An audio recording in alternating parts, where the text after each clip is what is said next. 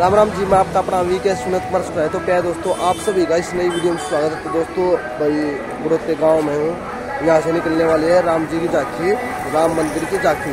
तो क्या दोस्तों, यहाँ पर कितनी भीड़ लगी हुई है, अभी तक आई नहीं है। तो आपको दिखा दूँ क्या यहाँ पर मतलब कितनी भीड़ लगी है कौन कौन यहाँ पर आया हुआ है। तो मतलब क्या हो रहा था बड़ोते में दोस्तों बड़ोता गाँव में। तो चलिए, मैं आपको दिखाता हूँ। तो पहले दोस्तों आप देखेंगे भाई, यहाँ देखो, यहाँ पर ये है दोस्तों अड्डे का भाई।